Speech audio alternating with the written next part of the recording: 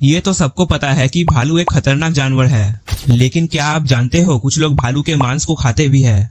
North America, Russia और China जैसे countries में इसे खाया जाता है। एक बेयर के मीट का फ्लेवर उसके खाने के ऊपर डिपेंड करता है। जो भालू फल और शहद खाते हैं, उनके मीट का टेस्ट मछली खाने वाले भालू के मीट से ज़्यादा टेस्टी होता है। बेयर मीट में प्रोटीन के साथ साथ आयरन और विटामिन बी ट्वेल्व जैसे न्यूट्रिएंट्स होते हैं। लेकिन इससे एक बहुत बड़ा हेल्थ रिस्क आ सकता है। कुछ भालुओं में ट्रिकिनेला स्पिरालिस नाम से एक पैरासाइट पाया जाता है, जिसका मांस खाने से इंसानों में मसल पेन और फीवर जैसे सिम्टम्स दिखाई देते हैं। अंडर कुक्ड बेयर मीट खाने से ये पैरासाइट बॉडी के अंदर घुस जाते हैं।